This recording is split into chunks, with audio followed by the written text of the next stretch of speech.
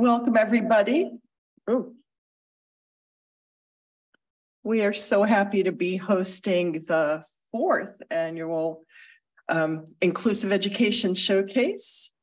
It is a particular passion of mine that education be inclusive.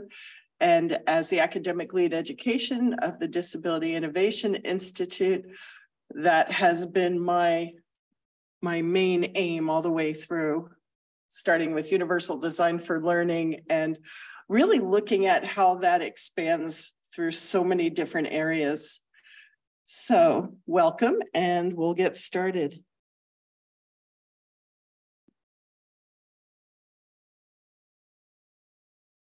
Um, I'd like to acknowledge that we are on Bedegal land this morning. And I would like to acknowledge the elders, past, present, and emerging, and any Aboriginal and Torres Strait Islander people that are with us today.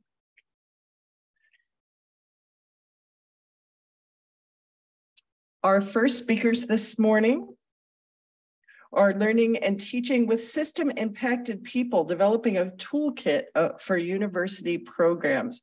I'm really excited about this because it's just something um, very different for me coming from just education, but I have a particular interest in criminology and juvenile justice from my past life as a high school teacher. So I would like to welcome Andy Kaladafus. Kaladafus. I am so sorry, Andy. I practiced and it went out of my head. Philip Watts, Tina McVeigh, Lucas Carey, and Kev Dertadian. Not sure who's going first. I think you need to use this. No worries. Oh, that is. It is on.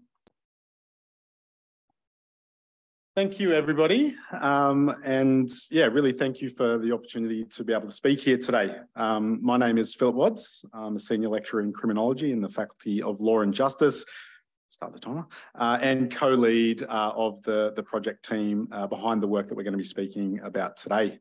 I'm firmly on script for time, so our presentation today is uh, titled uh, Learning and Teaching with System Impacted People, Developing a Toolkit uh, for university programs. Uh, and really, we're going to be speaking to an ongoing stream of work um, that commenced back in 2018 uh, when we introduced into our criminology program the first course co-developed and delivered uh, by a person with lived experience of prison. Since this time, we have commenced a number of continuing projects to establish, embed, um, and elevate a set of values uh, that uh, outline and hold us to account to deliver uh, a critical, inclusive, accessible, participatory, and transformative curriculum uh, featuring voices of the most impacted by the criminal legal system. An important milestone in this project was the formation uh, earlier this year uh, of a lived experience advisory panel um, and uh, we are very fortunate uh, to have two expert members of that panel um, and, and staff uh, in our criminology team here with us today in Tina McPhee and Lucas Carey. Uh, also presenting today are Kev Dertadian and Andy Kaladelfos, two very dear friends and colleagues from the CRIM team. Uh, we should uh, also acknowledge um, the work of our, our broader team who have been working on this project. We obviously couldn't have everybody speaking here today. We already have quite the packed uh, number. Um, and the advisory panel, uh, other advisory uh, panel members who have been contributing their time and labour to this ongoing project. We should also thank uh, and acknowledge our, our funding uh, partners in the Faculty of Law and Justice EDI Committee, the Learning and Teaching Grant Scheme, and the Centre for Criminology, Law and Justice. Uh, before we move on today, uh, we would also like to start uh, by acknowledging the sovereign Bedegal people on whose lands the UNSW Kensington campus is built as well as the Dharawal, Gadigal, Wongal, and Whadjuk Noongar people on whose lands the team uh, presenting here today live and work.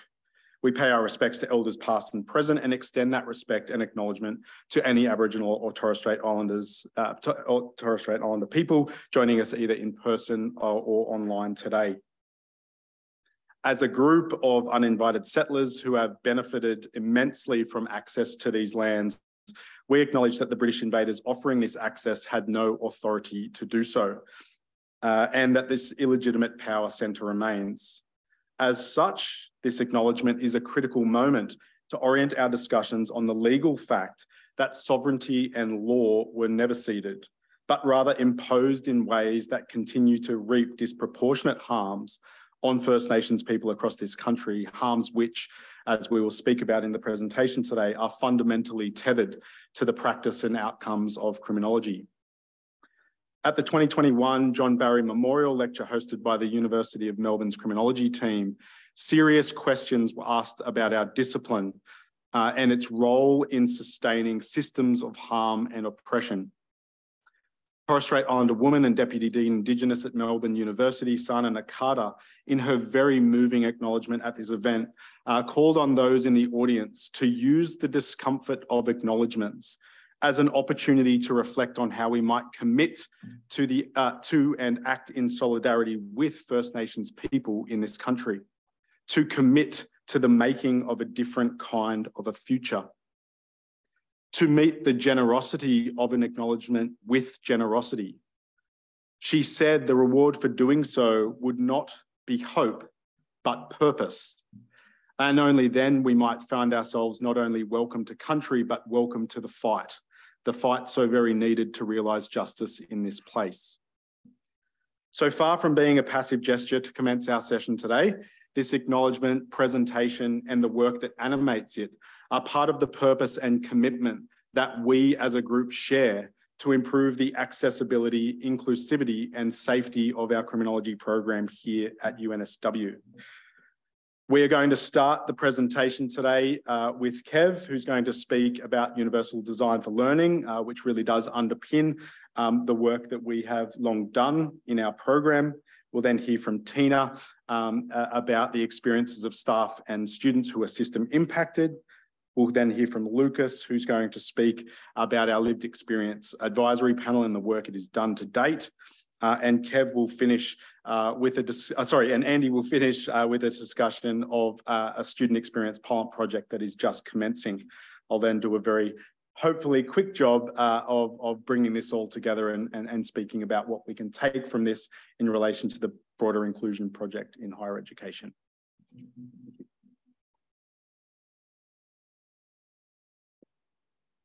Thanks, Phil, for orienting us in place and purpose so powerfully with that acknowledgement. It's really fantastic.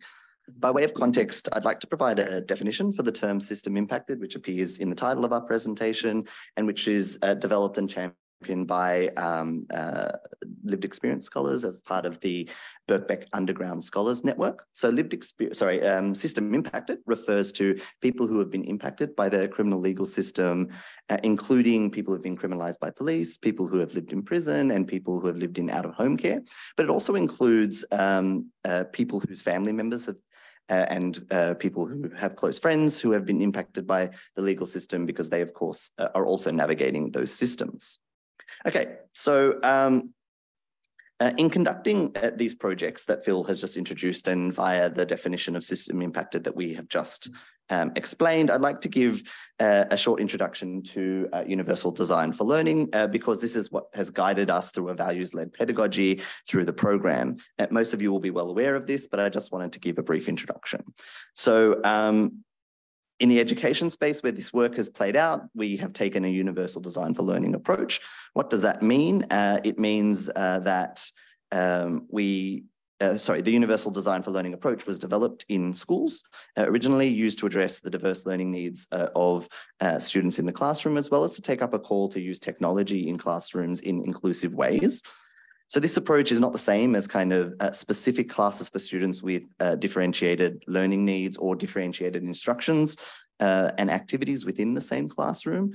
Uh, while those are valuable ways of doing inclusive education, universal design uh, seeks to not only include students uh, or include students with diverse needs in learning, but to draw from the strengths uh, of diverse students in uh, student abilities in the same classroom by explicitly designing to the margins, right? Designing the classes to the margin is the term sometimes used.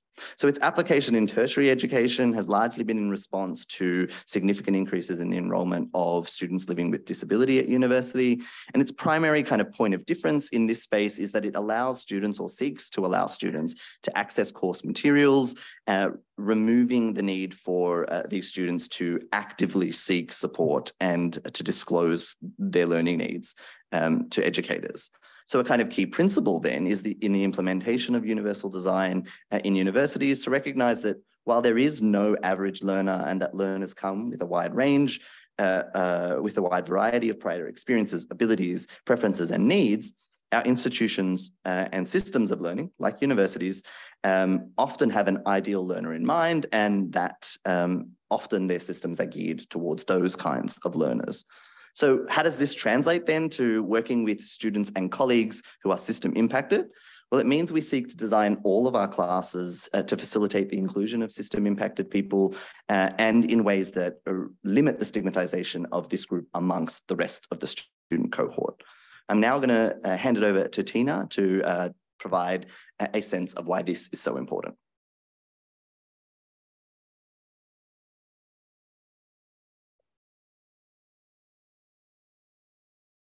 Thank you, Kev.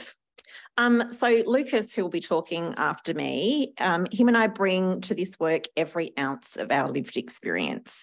And today's conversation will be unashamedly subjective. And personally, I think this makes it authentic and relational. In fact, I believe our subjectivity has been and always will be our strength.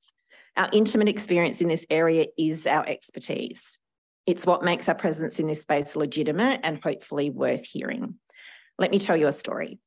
I'll never forget my first day of university. I was thrilled to be offered a place in the Bachelor of Criminology as a first generation student and was confident that the discipline would be a safe space for me. It was my first day outside of the prison walls in four and a half years. And as I sat in the front row of the lecture hall in Tandanya, Adelaide, with my prison issued pen and paper, I listened to a respected criminologist refer to people like me as offenders and criminals.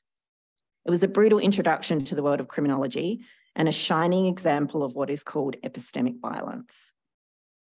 These labels are not neutral, they are part of the dehumanising project of the prison, and the ease with which they are spoken in places of education demonstrates how far the tentacles of the carceral system can reach.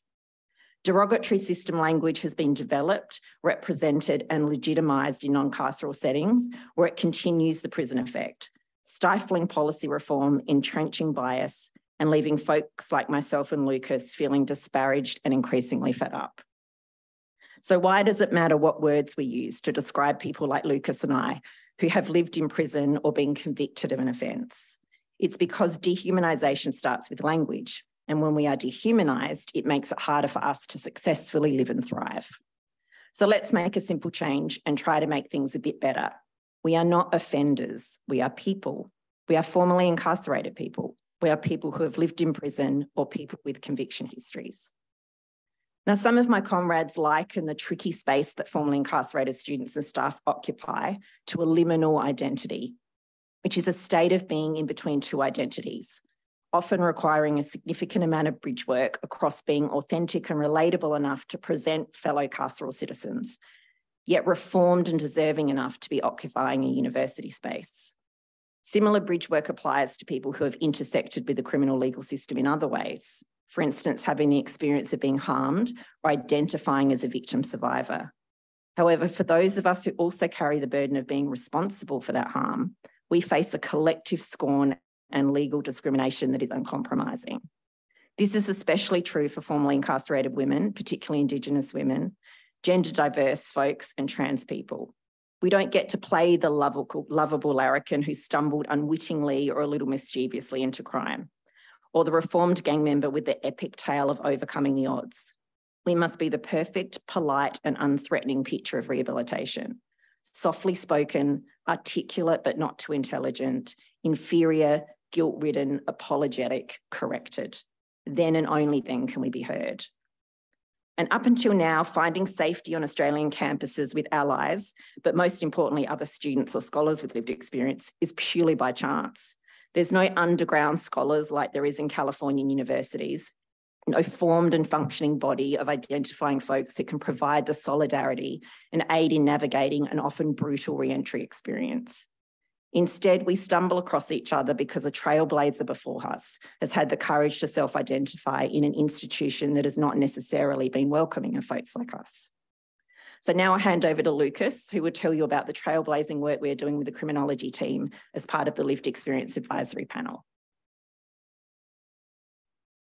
Thank you, Tina. Appreciate it immensely. And, uh, and the, the power of the story continues. And as Tina mentioned, is I also identified as a justice impacted person, and I've been lucky enough to be involved um, in the University of New South Wales for several years now, uh, working in the criminology department. And as Tina mentioned, it's been a case of knocking the door down and it's been a case of making sure that we are heard and are seen and are actually welcome at the table. And what was identified and developed through those needs was the Lived Experience Advisory Panel. This Lived Experience Advisory Panel was established in 2022 and it comprises of members of the academic team and also previous and current students who have been previously incarcerated or justice impacted.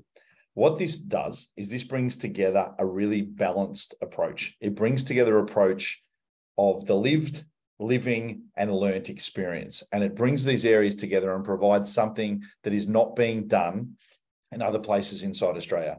As Tina mentioned previously, is there are some great uh, international learnings through places like in, in, in Berkeley University, also in other other areas throughout the US that take place in this space, also through the UK.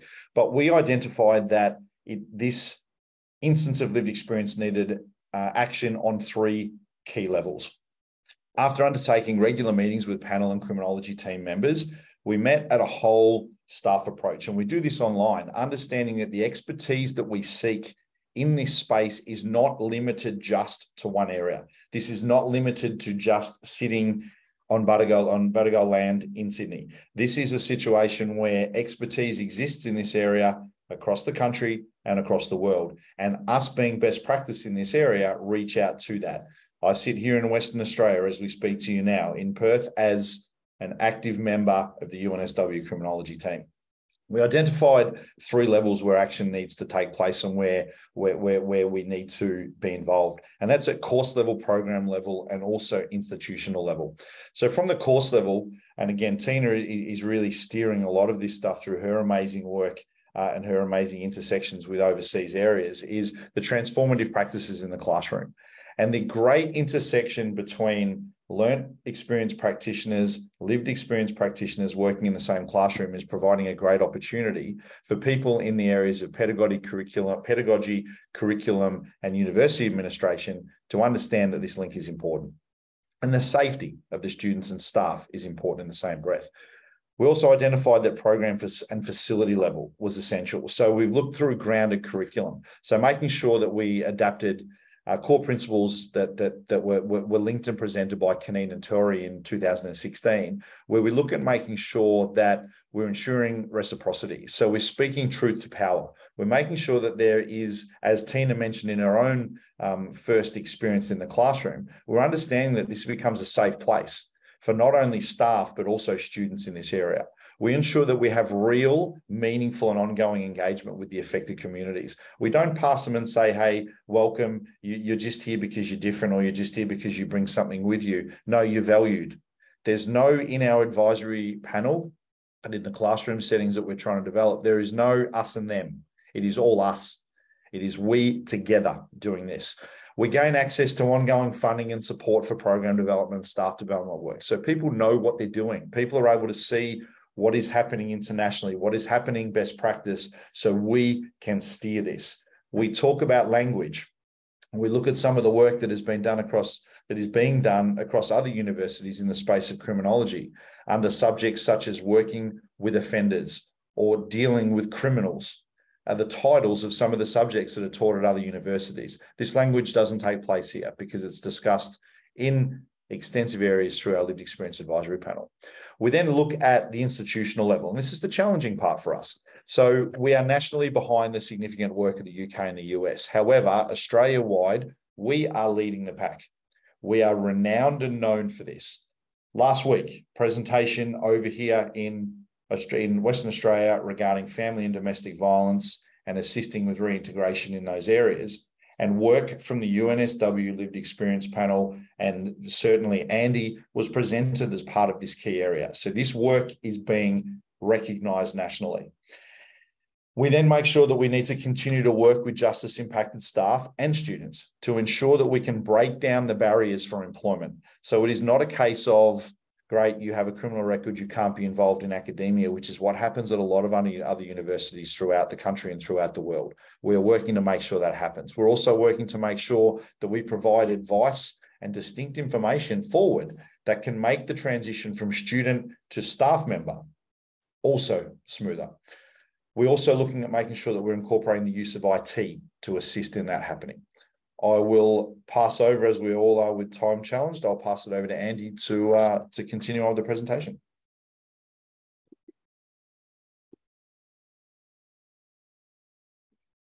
Uh, morning, everybody. Um, thanks so much uh, to my colleagues um, for their you know wonderful introductions, especially to Tina and Lucas for sharing their experiences as both students and as staff um, now working in criminology. Um, so I'm talking about the um, the kind of current tranche of our work, which is um, the Student Experience Pilot Project.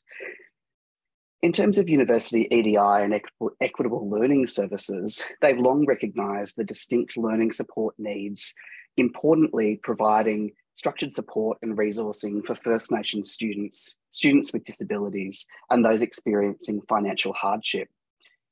But despite the known harms of criminalisation and state carceral practices bearing heavily on these same groups, students with lived experience of the criminal legal system are an almost entirely unconsidered student cohort for EDI and equitable learning um, services, but they are those that have distinct learning and institutional support needs. As such, we sought funding from our faculty's EDI Inclusion Committee to conduct a pilot study on the experiences of lived uh, of um, system impacted students in our faculty. This project was the first recommendation of our lived experience advisory panel as it became quickly apparent that we needed more information sorry everyone, apparently my camera was off, as it became quickly apparent um, that we needed more information on the experiences and challenges of system impacted students. From the panel's first-hand experience of university, and we've heard a little bit about that today, to our various conversations um, with system impacted students, we know that they have support needs beyond what's currently considered in the bounds of special consideration.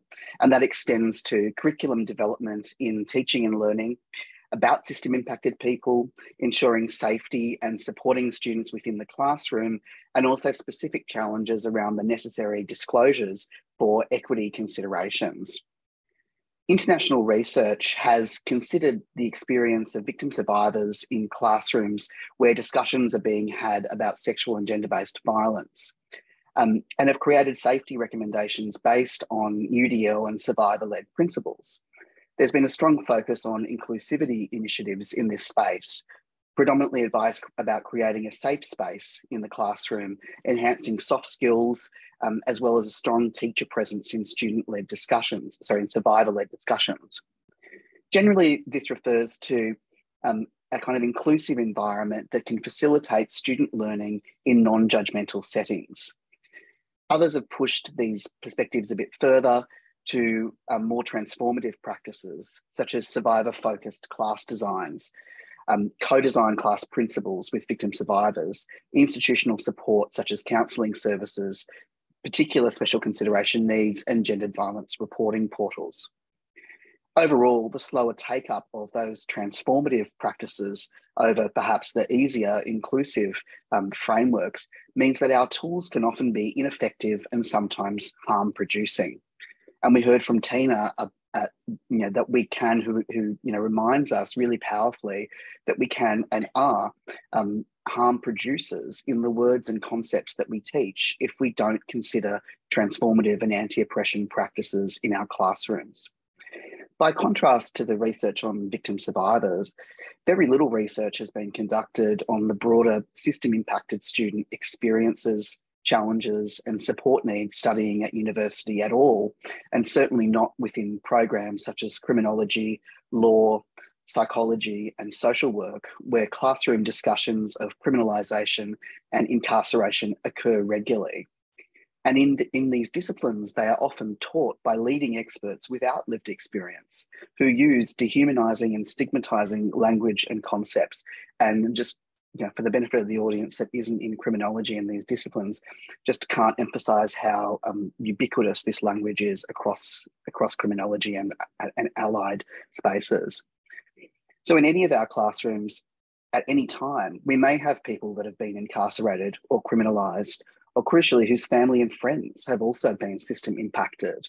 When we talk about these people as our topics in curriculum and use language that Tina has highlighted, this is not an abstract thing for, for students or for staff. It's them, it's their family, it's their communities, it's their lives. And so this is the reason why we devised the pilot study, which is currently underway. we have actually just launched it. Um, we're just launching it next week um, to interview current and former students in criminology and law courses at UNSW to better understand their experiences in the classroom and their support needs at that program, faculty, and university level. And you'll see throughout this presentation, we think it's really critical that we recognise that our approaches to this must be a whole system approach. Changes in a single classroom or a program aren't enough. To enact meaningful change, we need to create systems that will ensure longevity of inclusive practice um, and, and support initiatives and longevity, you know, beyond, you know, uh, uh, just, just the group, you know, here that you're, that, you, that you're hearing from today being involved.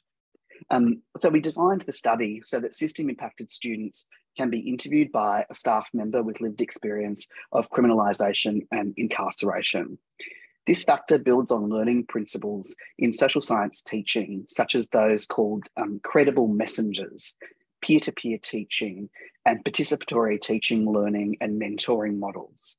And this is to ensure that system impacted students feel safe and heard to disclose their experiences during interviews and during focus groups. And we believe that's really crucial to the viability of that pilot. We expect that findings might range from wellbeing and safety issues in the classroom, the use of equitable learning services, and peer to peer support needs. We're conscious that the recommendations may call for a transformation to institutional processes for example, we know that we need to provide better advice to students when applying for special consideration about personal disclosures and what happens to the data that they provide. Too many students disclose deeply traumatic experiences in detail because they fear a no from special consideration. It's important that we get this right, not only for privacy and security reasons, but also because carceral practices seen here enacted through punishment systems such as late penalties, and I know that we're hearing a bit more about that from Deb later, promote stigma and fear of judgment that ultimately hurt all of us. They hinder access to education and may be especially re-traumatizing for system impacted students. And now passing back to Phil to conclude our presentation. I'll keep this brief because uh, I know we're at or over time. Uh, so thank you for sticking with us and, and thank you, Andy. Um, I think you know today's presentation is is is a starting point, hopefully, for engaging um, beyond our program and more with the institution um, on on this topic. I think our collective works and the projects that we've undertaken uh, for a number of years now um, have consistently demonstrated that while often overlapping uh, in experience and identity with groups more traditionally supported uh, by the university, that there is has been um, a little to no consideration of the needs of system impacted people and and those with lived or living experience of prison.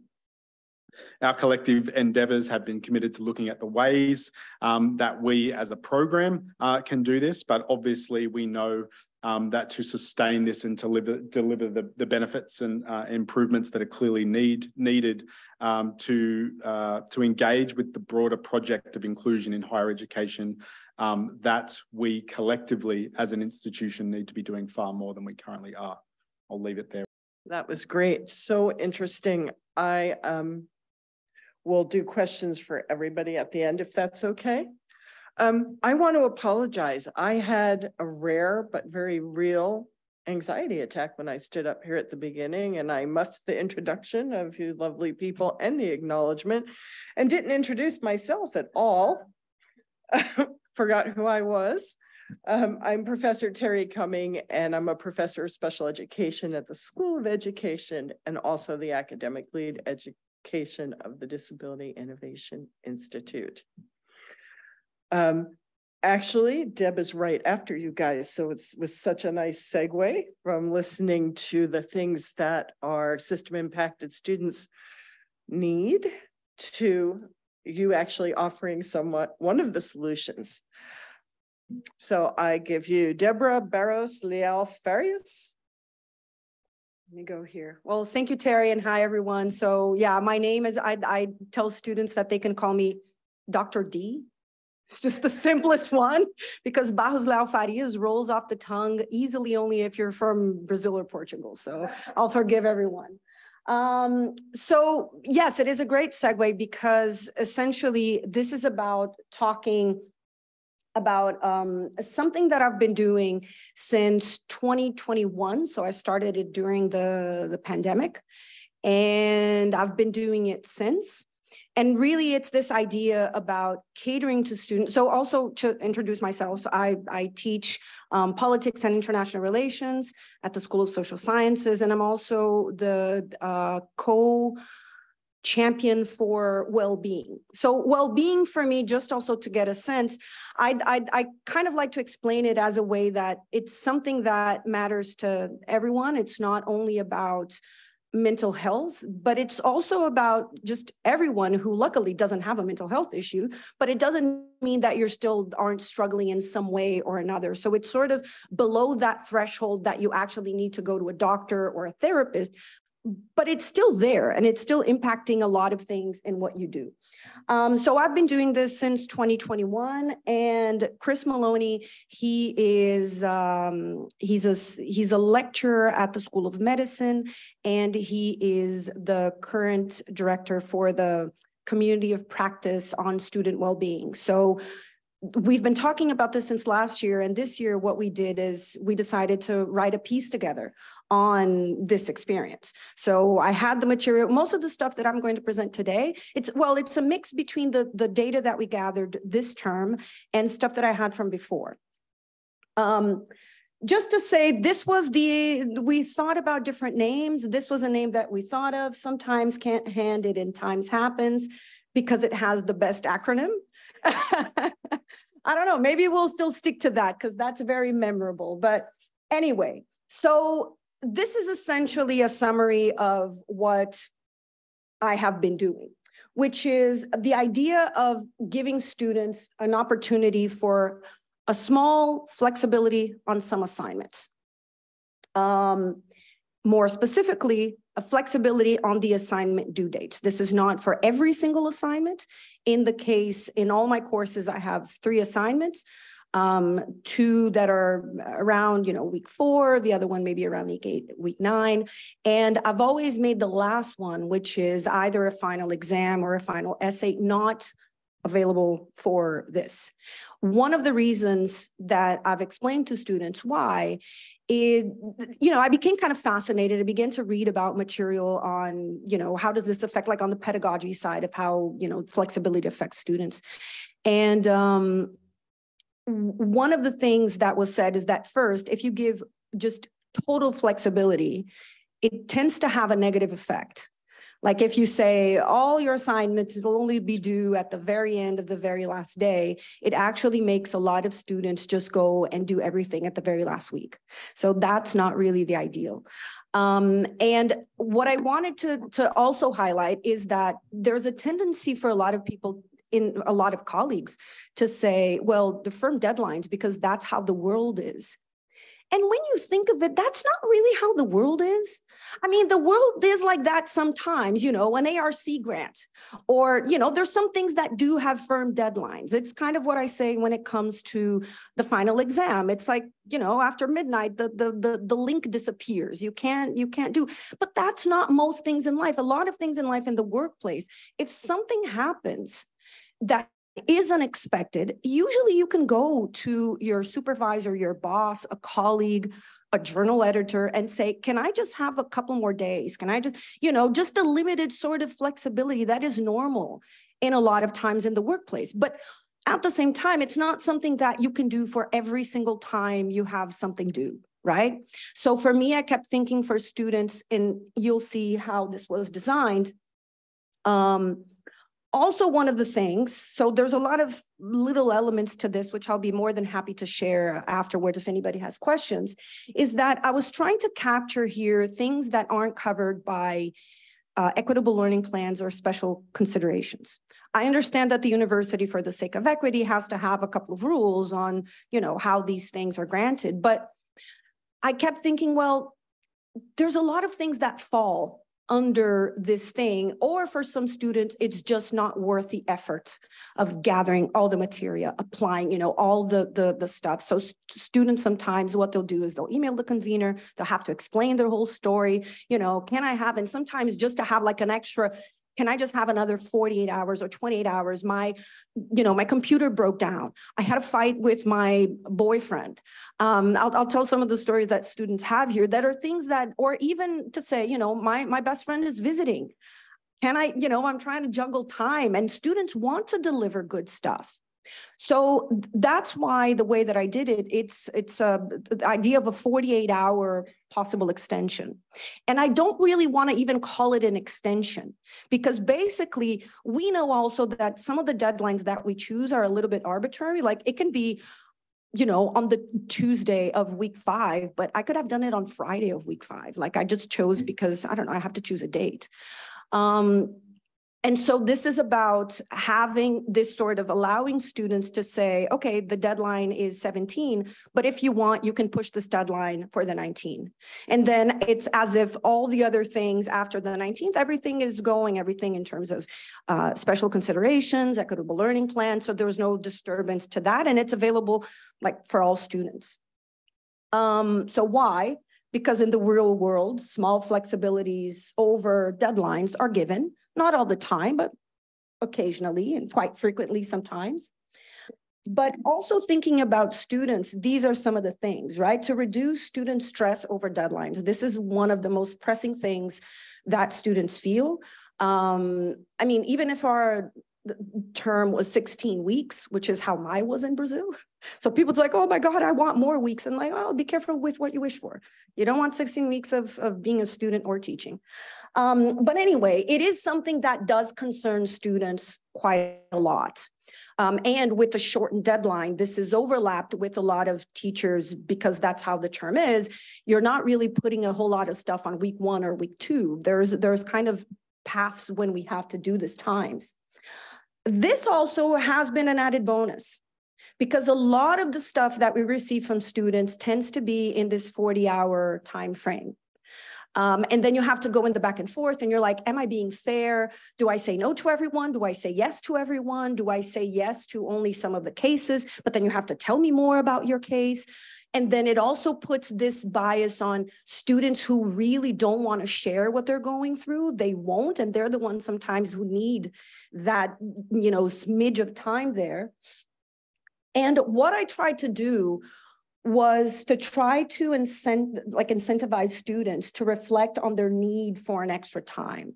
Like why do you need this? Do you need this because you were disorganized? And if you are disorganized is that something because hey maybe you might have adhd maybe you have never been taught how to plan and you tend to do things at the deadline because you just don't know better um, maybe you're procrastinating because you have an anxiety that hasn't been treated and you actually need to do something about it. Or maybe not. Maybe it's just, you know, life happens. Um, so here's the point that I try to make is that to ask students, you know, if this is a, you know, this, this extra time, a one-time event or a reflection of a bigger problem, but also saying, you know, if you think this could be a reflection of something bigger, that if you needed this for every single class you're taking this term, for every single assignment, um, I would also remind students, this is how, this is the person you should contact. Talk to a student advisor or maybe go and seek counseling here at UNSW to see, you know, and, and kind of suggest or come and talk to me and, and, you know, maybe I can help you with someone who can help you with whatever you're going through. Um, so I used to call it 48 hour waiver. Now I'm calling it flex deadline because I think it's relatively easier. So basically out of the three assignments, I gave students of two assignments. One, they couldn't, but they could choose either one or the other. They could use it once. So it was a one-time opportunity to submit one assignment up to 48 hours afterwards uh, with no penalties whatsoever. Also, why 48 hours? My logic was um, special considerations. I think one of the things is that it has to be something that has affected your studies for three or more days.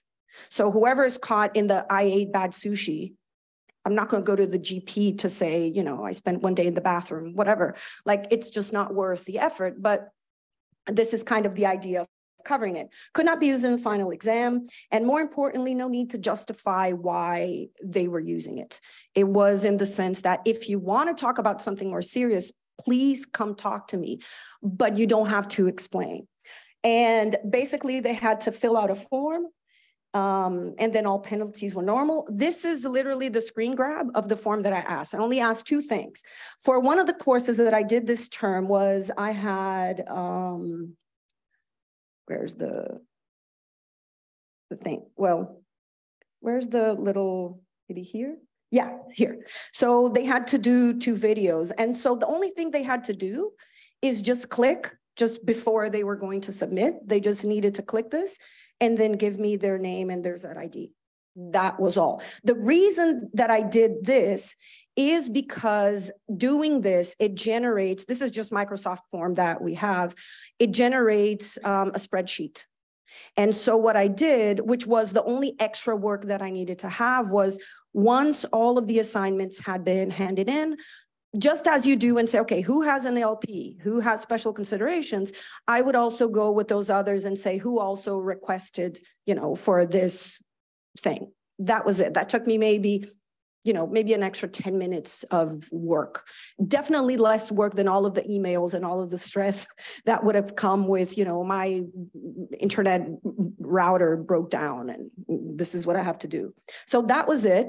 And it also made it easier for me to go and check if there was someone trying to double dip, because then there would be one for, you know, the assignment one and assignment two. So that was easy. And um, this for this year, this is one of the cases. So this year I was teaching two courses.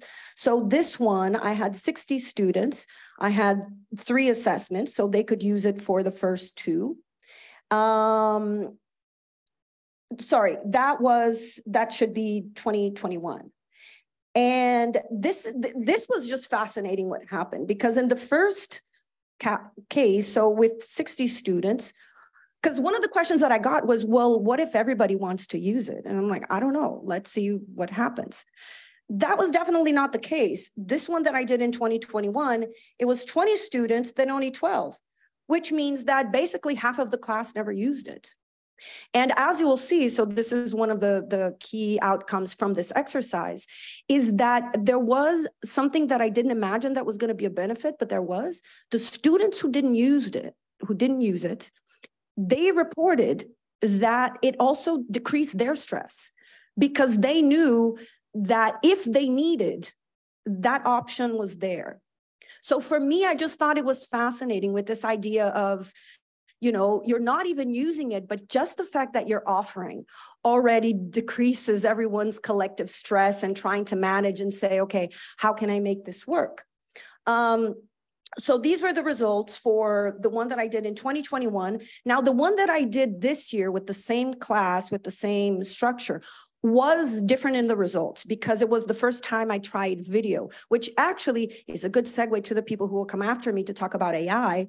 Because one of the reasons is that the case studies that I had, once Chat GPT came along, I'm like, I can't do what I was doing because chat gpt would simply go and just you know it would give a pretty decent answer it would be like in the you know high 60s range or low 70s um, and so i decided to ask students to actually create videos and a lot of the students that as you'll see the numbers were way up in using it because students most students especially i think that do political science don't do any sort of video. So a lot of students were at the end, you know, I told them like this, I'm not judging your, you know, performance.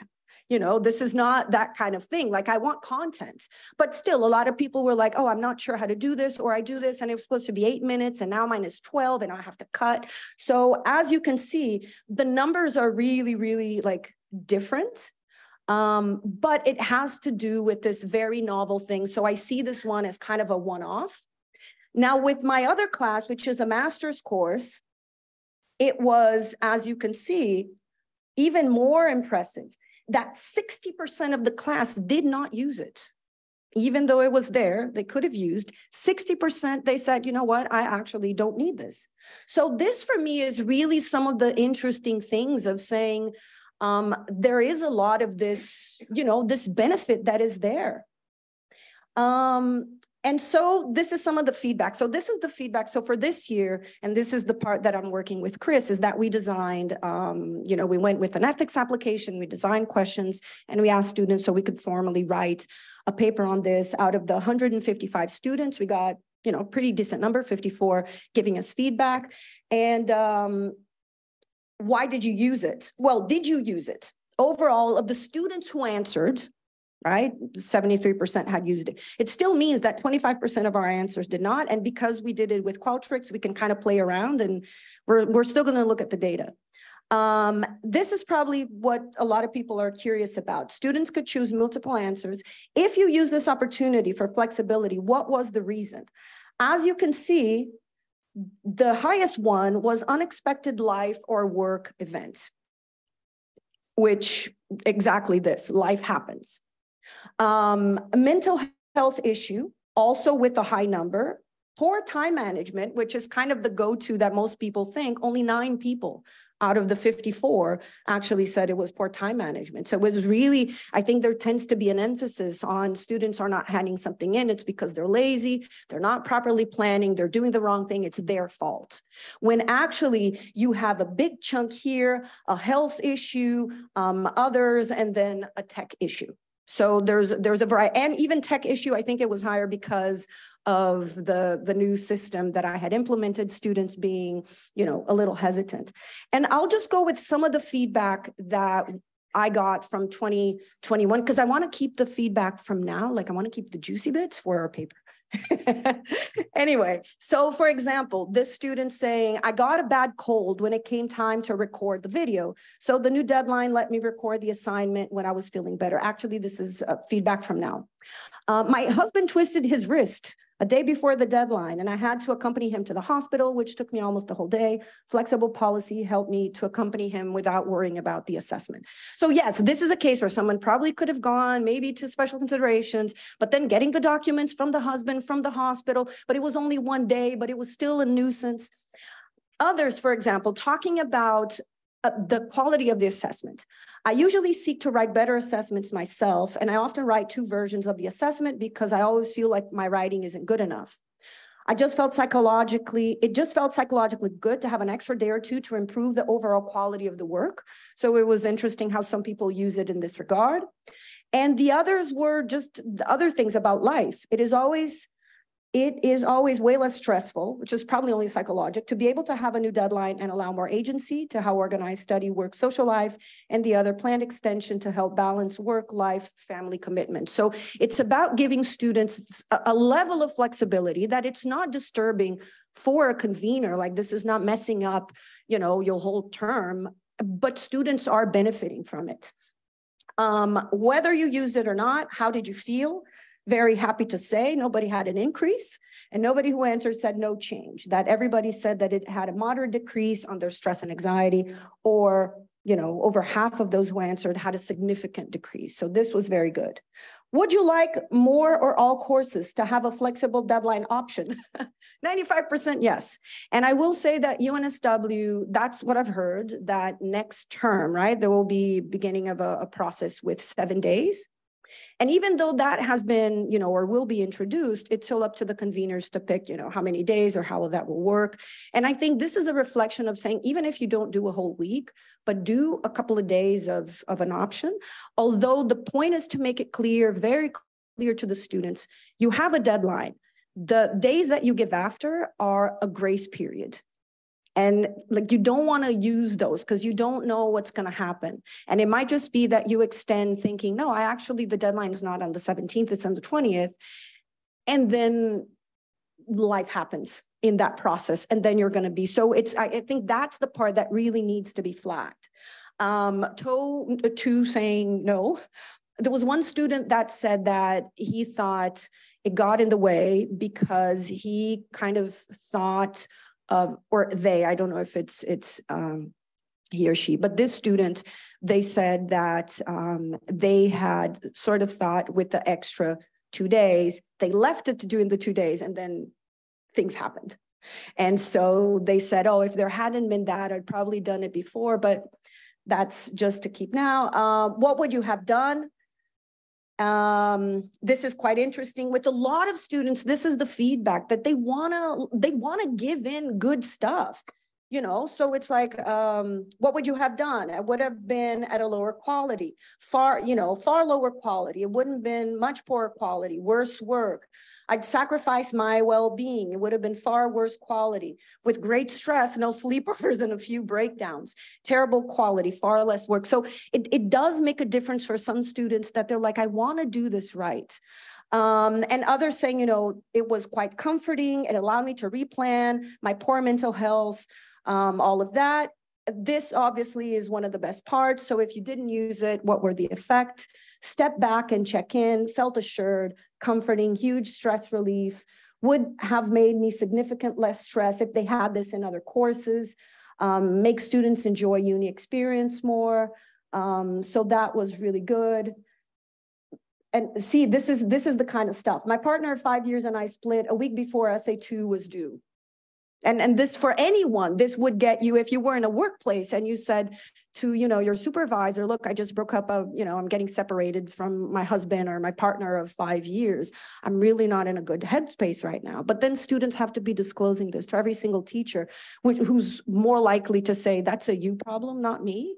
Um, which is not helpful. So all the stuff here about um, Although UNSW would like to think they should be prioritized, but they are a temporary obstacle needed to be recognized in a relevant career.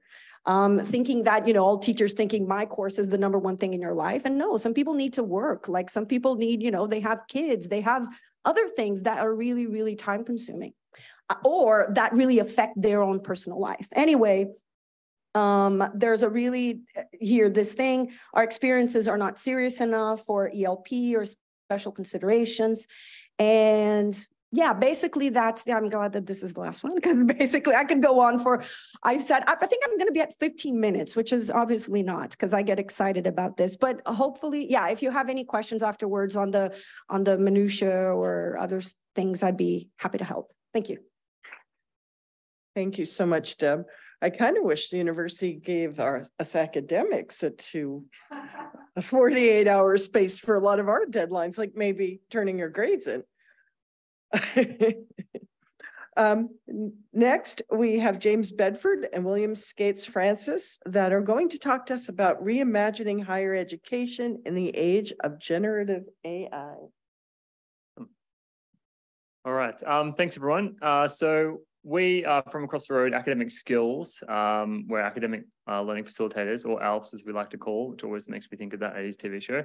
Um, we're here to talk about, I'm kind of almost regretting the title because it sounds like we've got some massive, like lofty ideas about reshaping the way the university works and operates. Um, we, we're kind of trying to draw it back a little bit and talk about some um, redesign that we did for a course last term, um, which was uh, a Gen Y academic skills course. Um, this is one of our flagship programs where it's kind of, I guess the brainchild of it was to give students the kind of course that I wish I had have had when I started university, which is like essay writing, presentation skills, um, all the things that's kind of like assumed knowledge, which no one ever really tells you. Um, and there's a bit of a stigma about getting help about that advice. So um, that was kind of the crux of that course. Um, and in the wake of AI, November 2022, ChatGPT being released, um, Will and I had a sort of opportunity to kind of rethink how that course would operate um, and what that might look like in terms of the assessments that we designed.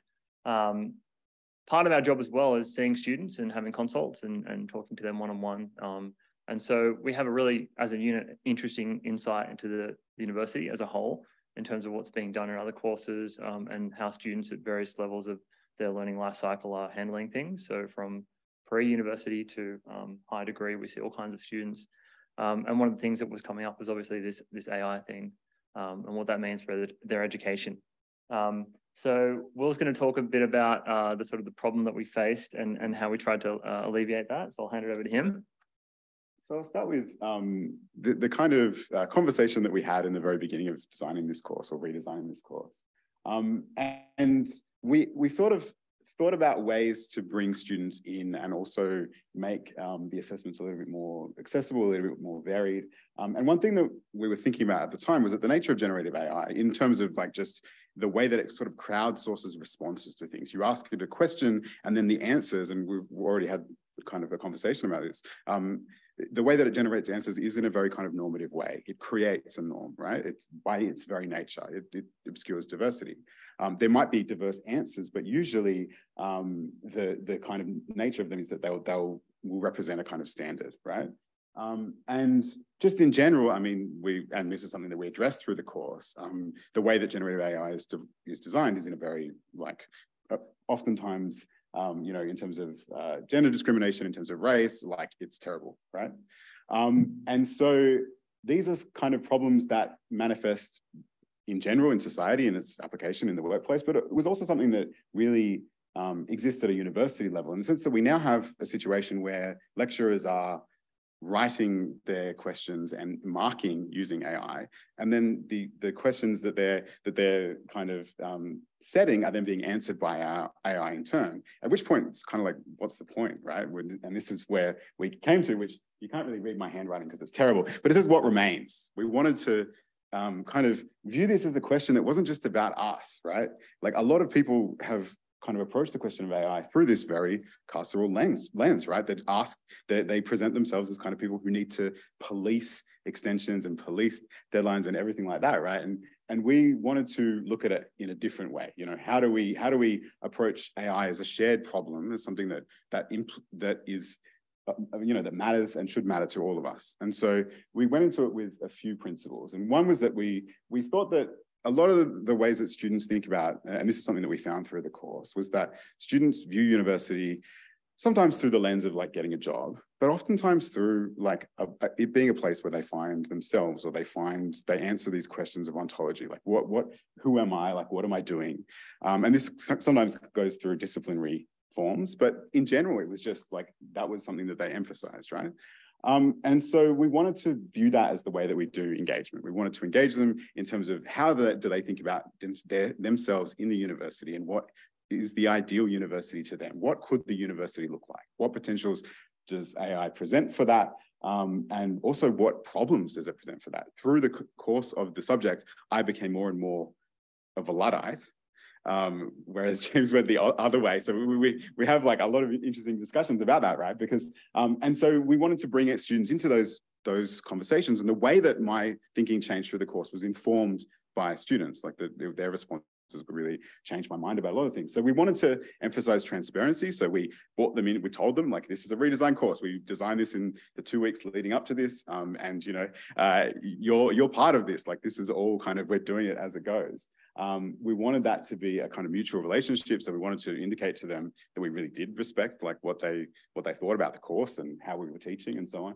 Um, and part of that was that we we wanted to emphasize process over product in the assessment, right? We wanted to look not at what they ended up producing because that's something that can be produced through AI, but how they went about that. And we wanted to make that all explicit. So how do they read? How do they research?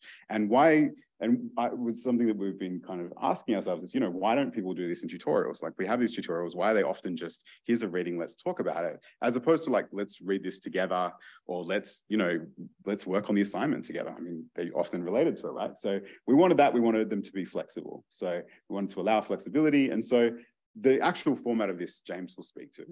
Um, but yeah, it was these were the kind of principles that we brought to it because we thought that um, we wanted to make it accessible and we also um, wanted to make it interesting for them as well as for us.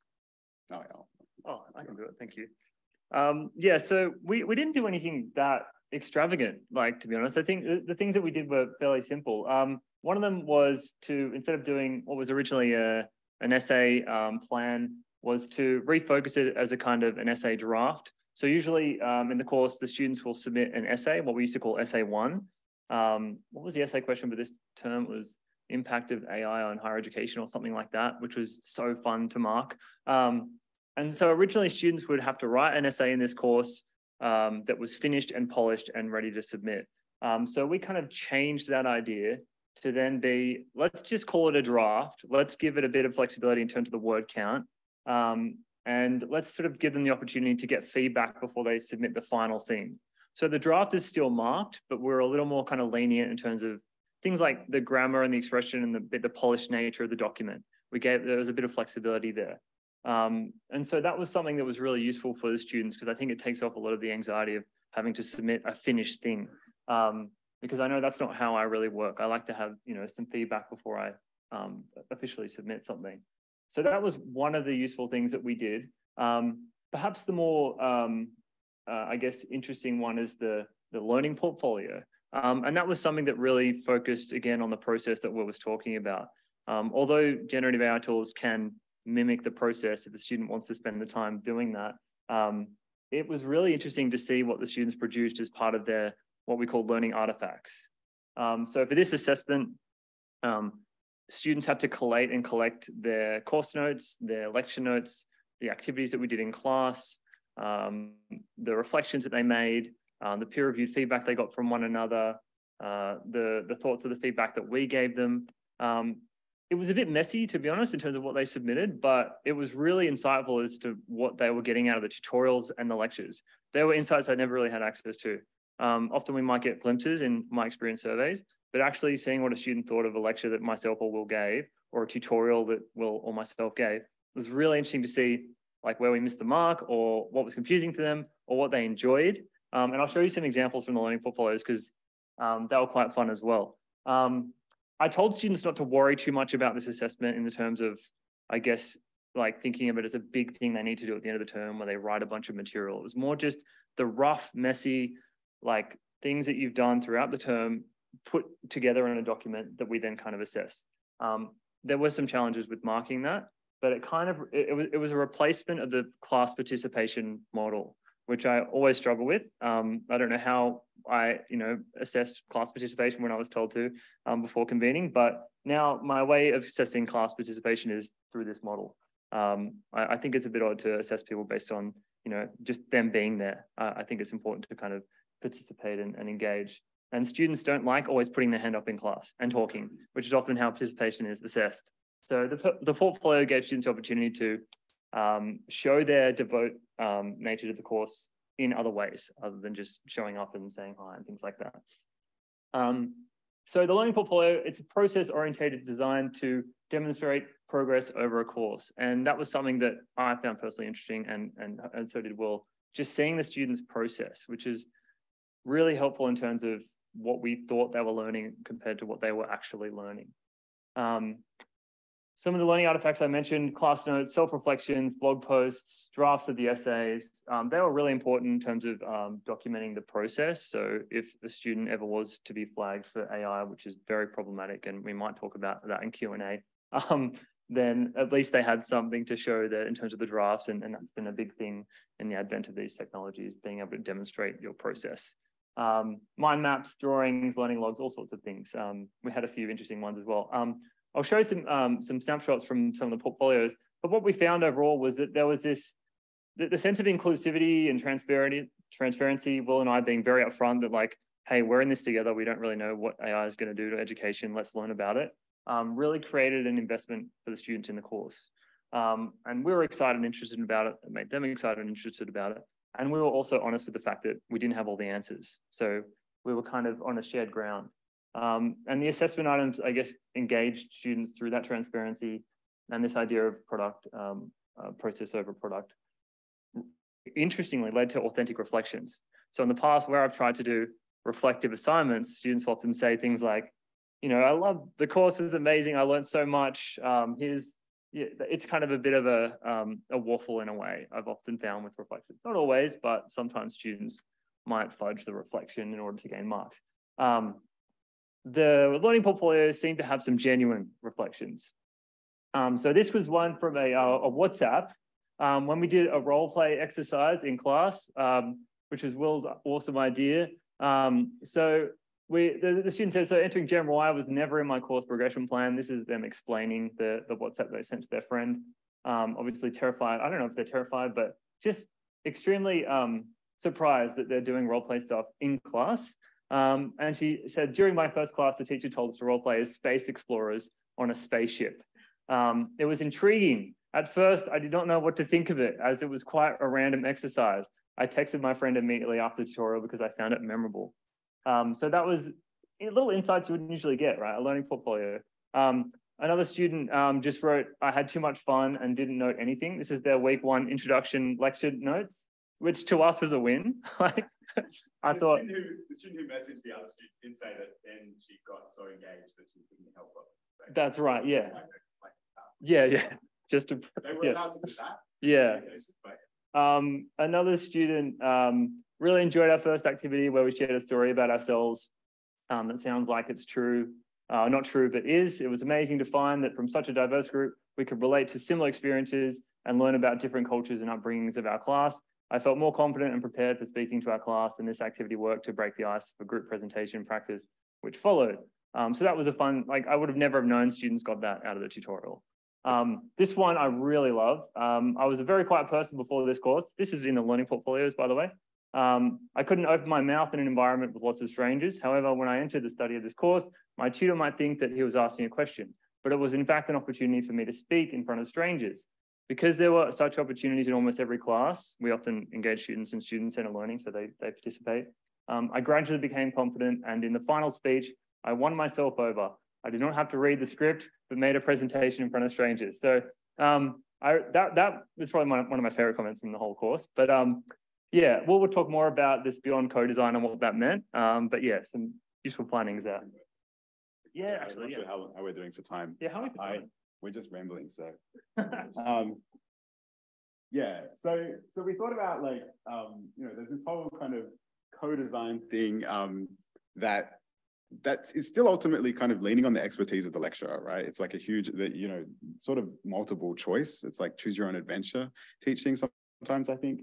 Um, and we wanted to like be clear with them that that we were learning as much from from the whole process as as, as you know they were hopefully probably more in a lot of the, in a lot of cases and we were we we understood this is a kind of shared problem it is a real problem like the the reality of you know, a, if, if AI can replace like what we do, it also means that their degrees become worthless, right?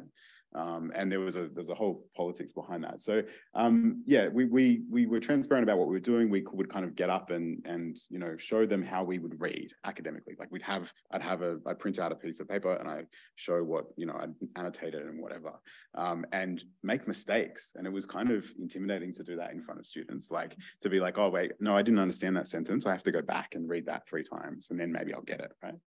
Um, so yeah, so we, so we, we wanted to think about it in that in that way is that it's not a kind of co- co-design, it's this sort of shared investment um, and a shared problem.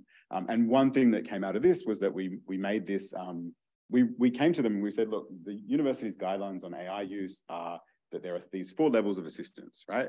And usually we pick them. We want you to pick them um, collectively, like we got them to vote. And one of them voted no assistance at all. So they were like, not even Grammarly. You can't even use Microsoft Word's spell check.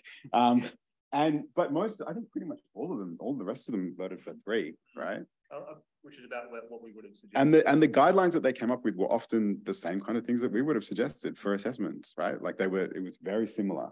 Um, they were reasonable, you know, there was nothing, we gave them the option. We said we would, I don't know what we would have done if they had have said that they can do everything, but but the, the design of the assessments themselves were such that you couldn't really. Um, and so, and we also kind of wanted to make the case for our assessments. We were like, look, these will help, these are teaching you, like that's why you're here, right? Um, so then we we there was kind of a declaration where they where they you know would just sign it like that was something that they included and this was the best part was that you, write a brief statement below describing how you use it as a part of your assignment and that gave us such insight on how they actually used it and allowed us to kind of work with them on ways that it could be maybe used better or they could adjust it you know because sometimes what would happen is that they would source an essay plan from using Gen AI, and then they wouldn't actually understand the the the, pro, the logical processes of the essay.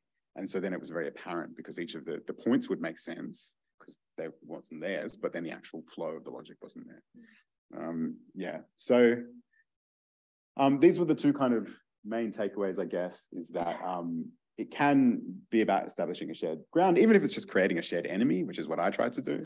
Um, um, but but it, but it's something that we, you know, we're all invested in this institution in, to a greater or lesser extent, right? Um, and the other was that, um, you know, just being honest and transparent with students about how difficult it sometimes it is for us. And you know, like me, like I self-disclosed disclosed that I have ADHD very early on, um, and was just like, look, this is what you're going to get. Sometimes I might like, you know, you, um, yeah, so that kind of thing, like it, it sort of, it took my innate oversharing tendency and made it kind of a strength, I hope, um, because then it was something that they could use. Um, so was there anything else that you wanted to at? Yeah, I think we've covered everything. So yeah, that was, that was it. That was it. Thank you. Thank you so much. I love the idea that we don't have to be policemen with the AI and that it's something you're doing together with the students. Okay, moving on, we're going, I'm going to ask Aves Parsame. Ah, Aves Parsame though, to talk to us about inclusive Moodle design. I haven't used those before. Go. Um, hi everyone, I'm Aves. Uh, I am an educational developer and faculty LGBTQIA plus uh, co-champion uh, for my faculty. And today I'm going to talk about inclusive Moodle design. So I'm not going to share a case study or uh, an example uh, for, for this presentation. I want to share good practices. So you can think about this more as a, in a way, it's, it's based on a checklist that we uh, in the faculty uh, ed dev team, we use to review and improve some Moodle sites that we work on. Um, it's not the full list. The full list has, I think, it, we use an Excel spreadsheet that has 90 different lines. So it's, it's, it's a shortened version. Um, and because I'm a learning designer, I like to start with learning outcomes. So uh, after this presentation, I hope that you'll be able to apply some of these principles to your own Moodle sites and hopefully also to create more welcoming Moodle environments. Um, I just want to flag also, I have slides and I've got text and visuals in my slides. Um, a lot of the visuals are screenshots from Moodle. I wanted to show the Moodle environment and where things are positioned, uh, but just flagging that sometimes the text will look very small. That's okay if you can't read it. It's not, it's not essential. So I'll just, I'll jump, jump straight into the first good practice that I want to talk about, which is thinking of the overall course site structure. Uh, I think, I hope by now everyone is familiar with the new theme, Moodle Enhance, uh, and we've all done some training on this. Um, something to know about Moodle Enhance is the theme itself was designed with accessibility in mind and to improve the accessibility of all our Moodle sites. And it has received very positive feedback from students and particularly neurodivergent students. Uh, they find it easier to navigate, there's less cognitive load, so already that's good news. That said, we do recommend that um, academics or course conveners don't um, change things up too much and that to follow the recommended structure. Uh, and so the reason for this is because we're aiming for predictability and consistency, and that's really beneficial for all our students, but particularly our neurodivergent students. So again, we've done Moodle enhanced training, so I won't go into the detail of the, the template, but it's a really good idea to have only a few quick links at the top. Uh, avoid adding too many of those quick links because that will defeat the point of having quick links. Um, and then if you can have a course information hub as the first section and then have your assessment information in the second section, that's ideal. So avoid sort of spreading all this information all across your, um, your Moodle site and then have your weekly sections uh, below this. So I'll just move on because I've got other, a lot of other recommendations. Um, for the convener block or the teaching staff block, uh, you can actually use that space to, I guess, communicate your commitment to inclusion. Uh, and one of the things you can do is to share your pronouns if that's something you're comfortable doing. I do want to emphasize this because I think regardless of your gender identity, it's something that um, is good practice. It's beneficial for your gender diverse students because it will really normalize the practice. So it's, it's a very easy thing to do. You can add it next to your name if you're comfortable doing it. Um, and if you've done your ally training, which I really encourage you to, to do if you haven't, it's great training, um, you should have an, a digital badge. And that's actually something you can do is adding the badge next to your name as well. So your students already, um, particularly your LGBTIQA plus students, will know that they're safe with you. Uh, as a member of the community, I can tell you that it makes a huge difference to see those little um, markers of, of safety and inclusion. Another um, recommendation is to have an, a statement of inclusion in your Moodle site. So I know that last year, the last uh, showcase, uh, our colleague, Dr. Scott Brown, talked about having a statement of inclusion in slides, which is a good idea as well. Uh, if you're interested in having that in Moodle, a really good place is a block. So just adding an extra block, writing your statement of inclusion and, and um, sharing it there there's a lot to talk about about statement of inclusion and we have some um, resources and, and, instructions and templates so we can continue the, the conversation about this if you're interested. Uh, but i'll move on to uh, one of my favorite sections in moodle the assessment section. So a couple of things i want to emphasize when you're you know designing your site. If you can uh, have all your assessment materials in the one section that would be ideal. And I, you know looking at hundreds of different Moodle sites, I can see a lot of the time um, course conveners like to have the assessment information in different sections. It's going to be more predictable and consistent for your students if everything is in that one section. And the other advice is to use assessment briefs. And so I don't know how common that is. I haven't seen it very often, but this is uh, a way to summarize all the key assessment information so in the faculty, for example, we use um, a template and we, we ask our academics to use the same template for each individual assessment. And so that template has, uh, and I mean, you can create your own, but the important information obviously is, you know, instructions, submission requirements, marking rubrics, use of acceptable use of AI, you can add in a brief. Uh, but the idea is that you have the same template for each individual task. Also, Ideally, you would put this as a file, not as a Moodle page, because the files in Moodle, so Word or PDF files are more accessible for students who use different formats. Just moving down that, thinking about the weekly sections, something that is also sometimes I think overlooked is the clarity of your, of your sections. Um, I think, and we had this conversation earlier uh, with Deb, is I think sometimes we assume that the organization makes sense because it makes sense to us, but it's, you know, having looked at different Moodle sites, it's not always obvious. So something you can do to clarify the structure is just use headings. And so you can use Moodle labels to have very clear headings and use the same headings week to week. This is going to be uh, much easier to read uh, and it's going to, again, reduce the cognitive load for your students. Um, it doesn't really matter what the structure is. I personally love the chronological, you know, before class, lecture, after class kind of structure. I used it a lot with first year students because I feel like, I don't know, I like to guide them, you know, through the week and what they have to do.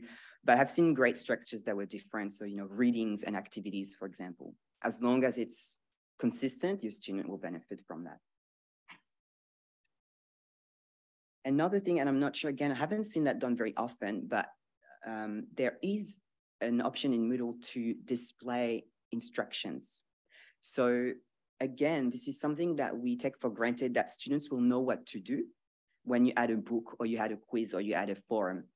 But it's always good practice to include very clear instructions. So just as an example, if you're having a Moodle book, you could write something like, please read this book before the first lecture, or please complete this practice quiz before the tutorial. Uh, it's not marked. So just clarifying what they're meant to do will actually make a difference for them. Uh, it's useful also to have clear instructions for students who have um, limited short-term memory and those who use screen readers. Now in Moodle, you can type the activity description and then you have an option to display it. So sometimes I don't do it because I'm conscious of the real estate and it's you have to scroll a little bit more, but it's definitely worth doing it for those activities that um, where you want to provide instructions. Files. So I've recently sort of discovered all the uh, features that are really useful in files. So um, whether you are uploading you know, Word documents, PDFs, PowerPoints, files actually have some Moodle files have good accessibility features. The first one I wanted to mention is the accessibility checker. And so when you're uploading a file, you can actually see there's a barometer icon, which will be, if you can see the color, will be red, orange, or green. And it will, if you hover, you will see a score, the accessibility score of your file. And then when you click on it, it will actually open a window and you will see a list of potential issues. Um, now, most of the time when I upload files, they're orange or red, so don't like it's quite common. Unfortunately, you can't fix those issues from within Moodle. You will have to delete it, fix the issues, and then re-upload it. And then you can check again. And I'm really proud of the one that's perfect, but that's only one slide, so I cheated. I made it very easy. Um, so use the accessibility checker and also be aware that files can be downloaded in a range of different formats. So alternative formats are available to your students whether you, uh, so if it's a Word document, a PDF, or uh, slides, students actually are able to, or staff, but you know, anyone is able to download your files in a range of alternative formats. That includes audio, so you can, you know, they could actually listen to your slides. Um, there is Braille, there is uh, EPUB, I think there's HTML. So there's a good range there. So it's good for you to know and let your students know as well. And this is why I always recommend using files when you can, as opposed to Moodle pages. Hyperlinks, uh, one of my favorite topics. Uh, I think I see a lot of, there's a lot of issues around how we write hyperlinks and testing that with screen readers. Uh, it's, it can be a challenge for students who use screen readers when you have hyperlinks. And it's quite common these days to actually hyperlink things in, in Moodle. Um, a couple of things that are really important. You want your hyperlinks to be concise, so avoid you know, hyperlinking whole paragraphs or sentences. That's not going to be very accessible for screen readers. And more importantly, make it very meaningful and descriptive. So we see a lot of click here. So for a screen reader, that's going to be confusing, or for, for a student using a screen reader, it will be confusing because the screen reader will say, link, click here. So the screen reader or the use, the student will not know where the link is going. So better to a, better way to do it is to, you don't have to write link, but you could say, you could just hyperlink, you know, gradebook, for example. And so the screen reader will say link gradebook. Um, so yeah, avoid those click, click here or find out more here, all those vague terms. You can test this with uh, uh, Microsoft Narrator, by the way. So it's pretty good at, at sort of reading your, your Moodle pages. Now, by default, Moodle will open links in the same tab, which is great. Um, don't make your links open in a different tab because that's actually um, can be disorienting. So it's better to actually stay in the same tab. If you have to open the link in a, a new tab, then you can just give advanced warning. So then the, the student will know that the link will actually create a new tab. I think this one is a little bit more commonly known. If you're using images, make sure that you are including alternative texts. Um, if your image is conveying meaning or is important for the understanding. If it's just decorative, obviously you can mark it as decorative. Um, and then if you are if you are including alternative texts, it's the same kind of principle as for hyperlinks. Uh, just make it concise and meaningful and descriptive, so the screen reader will actually um, communicate the information in a very clear way. Videos. Uh, if you are including video materials in Moodle, it's always better to aim for a short video. Uh, so I definitely would not go over 20 minutes in terms of attention. That's going to lose a lot. A lot of your students are going to be distracted. Um, I think, I believe, and from what I've been reading, the sweet spot would be six to 10 minutes for engagement. And that's actually not only for neurodivergent students, but also for, for all your students, really. Um, now I'm aware that Echo 360 doesn't allow for this. So I'm not necessarily talking about your lecture recordings, which you can't really split up, but for anything else that if you're recording your own videos, for example. And of course, if you are uh, adding video materials, enable captions and transcripts, this is useful for so many different students. Um, it's useful for uh, students with hearing disabilities. Uh, it's, but it's also really valuable for your students who may be still learning English or multi multilingual students, uh, and they really value having the, the text in, in writing. I do use uh, Microsoft Stream for this. It's great for transcripts and captions. You only have a toggle and you just enable the transcripts. And what I love about Stream is that you can edit the transcripts, which as someone who speaks with an accent, I really, I just can, I do not like reading the transcripts that are auto-generated because the French accent is creating very strange words. But this, I can go in, edit it, save it, and then it's reflected straight into the Moodle site there are little there are limitations with stream with permission, so that's something to be aware of. It's not perfect, but it's probably one of the best platforms.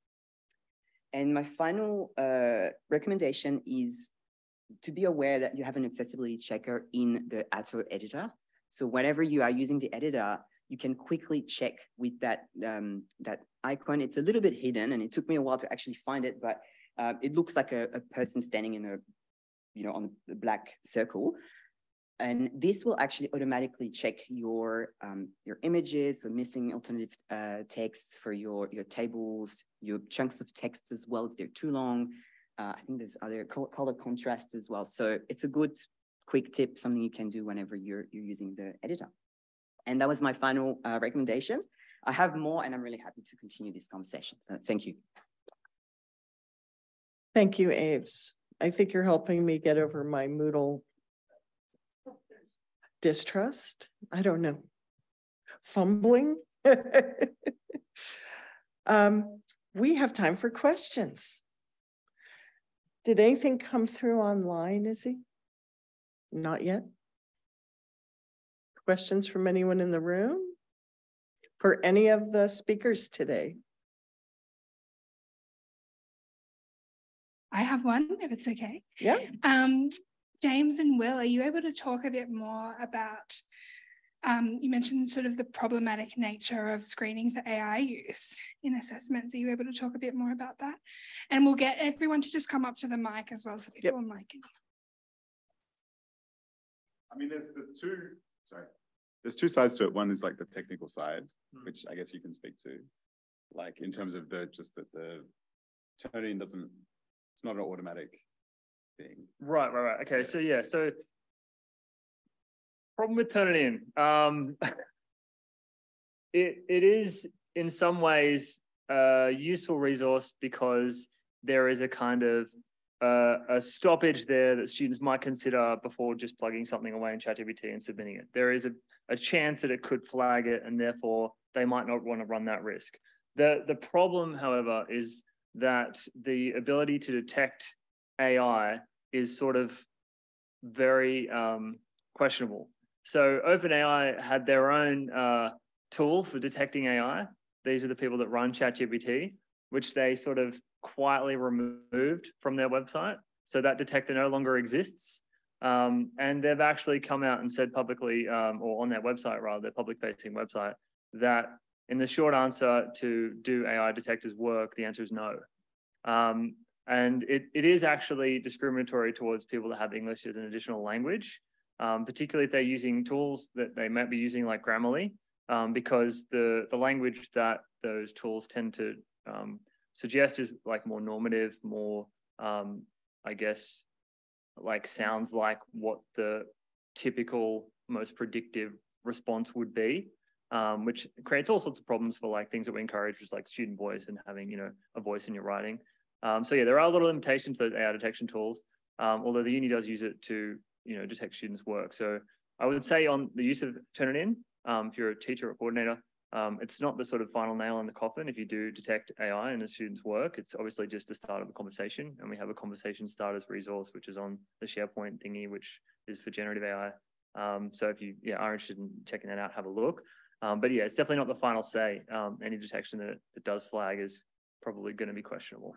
I had a student once who didn't take out the chat Yes. part of the ChatGPT. Yeah, we've had that a few Like times. sometimes it's really easy to like figure out that's what's going on. Or, or sometimes they'll copy and paste it directly and it That's will- what it is. Yeah, puts the it'll, background it's in. the background thing. Yeah, the grayed out background. So yeah, um, And then it just, it, it just kind of like, it- it- the- the- it's, it's not that it then becomes impossible for them to do it. It's just that the students who are really not great at it because they're rushing or they don't have that technical aptitude hmm. to, you know, use a, there, there are all these programs that will just change, take G- ChatGPT text and then change the way that it's worded to make sure that it doesn't get flagged by Turnitin. Yeah. So it's like, I think the problem there is at a design level rather than at a, like a detection level, like the emphasis on detection is kind of like, misses the point. Quick question, how many students did you have?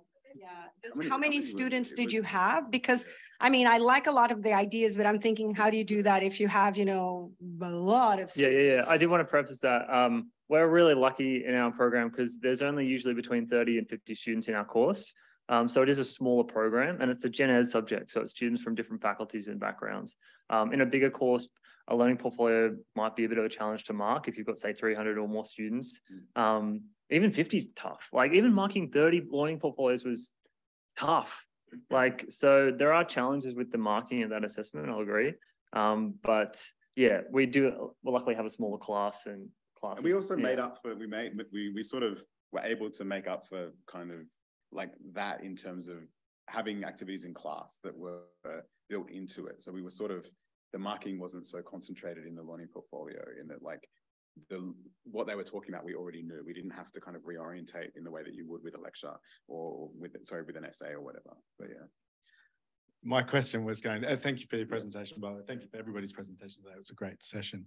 Um, my question was, you did flag um, some challenges around marking and, and thinking about, you know, the potential. I love the assessment change and the focus on process. I think that overcomes so many of the challenges um, that we may be facing in this space, but also thinking about the nature of highly casualized courses where we're asking um, tutors who aren't necessarily in all teaching space, learning and teaching spaces to do that. And maybe the, the, your familiarity with content in Yeah. classes helps you.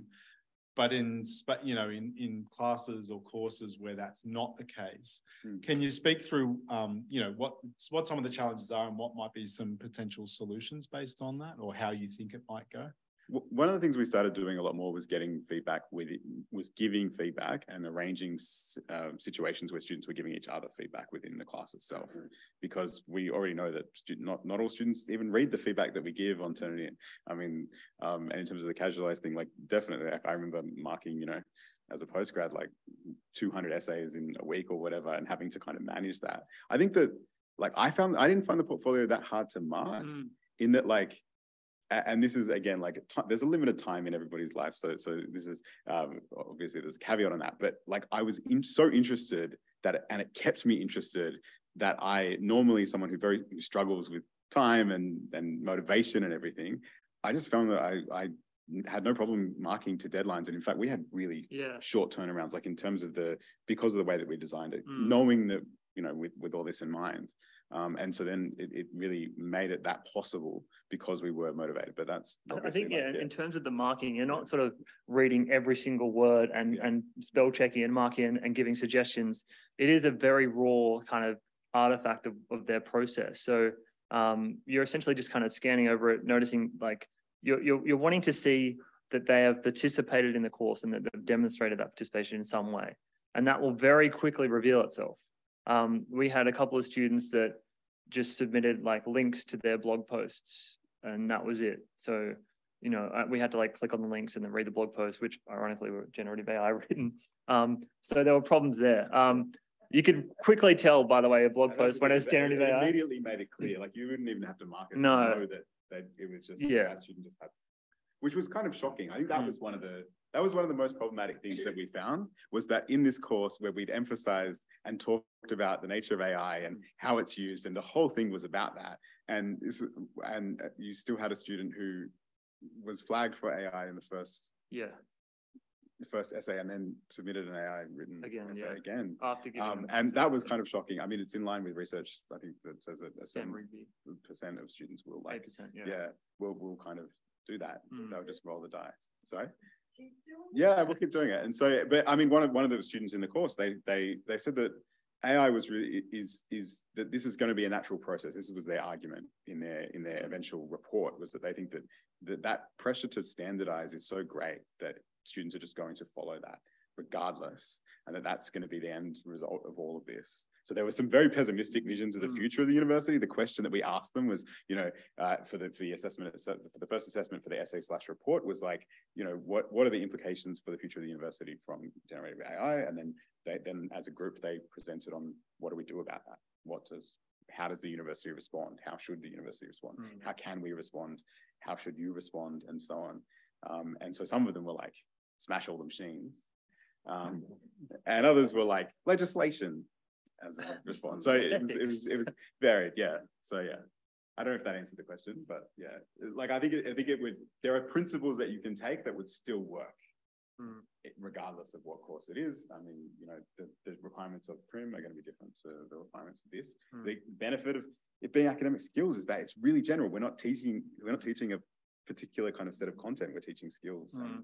like I think that, yeah, yeah. there's a flexibility there. So Um, uh, thanks again for the um, awesome insights there, which are really useful. I- I don't know if it's a specific question, which always is terrible when you start like that, but I promise it's good. Um, I, am wondering about like a thread that I'm hearing through all of the presentations is like attempting to move away from the kind of punitiveness of the Mm. way eh, you know education is done, whether that's you know being punitive to students who use AI or or or whatnot, whether it's timelines, whether it's punishing students for you know uh, having different learning needs. Uh, and the more explicit stuff in in our presentation, and I'm wondering uh, what others, uh, whether others have reflections on the barriers to kind of trying to not be punitive in these spaces because it there, is actually a politics of that in universities that I think we need to talk about, right? That that there is that that's the default. Mm. Um, and if you move away from that, like, you know, you come up against um, barriers and I'm wondering, Mm. you know, what are our barriers and what do we do about them? Oh, I see that. I actually think part of the way to, and you can correct me if I'm wrong, um, is to have them maybe not always have to write to show what they've done. I think students that keep doing that, it's because they don't write well, but there might be a myriad of other ways they could express themselves. Granted, it makes for more work for marking and things. But I try to UDL assessments it also makes for more work getting it through committees. I'm not gonna lie about that. We have a very inflexible kind of way of thinking. So if I say, you know, my student's either gonna write an essay or do interpretive dance to show me what they've done, I'm going to have a hard time getting that through the education committee. But sometimes you can give them choices where maybe they don't. I really think nobody wants to cheat. I think they resort to those things out of panic and anxiety and, you know, not the way I express how I've met your learning objectives. What I would say also is that I think it has to do with explaining students why certain rules are in place and that they have to make sense. So it's about saying, look, it's about equity. If I just give you three days, but don't give someone else three days, it would be, why didn't I get three days? And so it's about sometimes, but I do understand that it's hard because we still use the, the language of penalties, right? Of late penalties. You're late, you know, Mister, and just kind of like wagging, you know, the the, the finger. Um, but yeah, I think the the the like communication, you know, the thing with AI, I kind of mentioned briefly. Um, what I did this term then was make the the videos, and I, my course is globalization and governance. So it's really open and kind of abstract. And I asked them to do two videos where they get everyday objects. And one video was look at the, the global governance of that object. And the other one was how globalization is reflected in that object. And their trouble was the opposite because they're like, I've never done a video. You know, mo most of us have never done, but I'm like, this is great because this is a very low stakes experience. Like I'm not judging you on the only thing that I asked was that it be educational. So I said no hostage videos. I made it like the first thing. so I don't want someone just doing, you know, like, yes, but it has to be educational. But I think also just to letting students know why you're doing the thing and to say, I'm not going to judge you on your editing skills. I'm not looking at, you know, your shots and whatever. It's really about the content, but also saying in that case, you can show your face, you cannot show your face, you can, you know, kind of giving the guy. But I think going back to your your answer would be if you do have some sort of what we would consider punishment, I think it's more about having instead of reframing and saying it's not a punishment, but it's an issue of equity.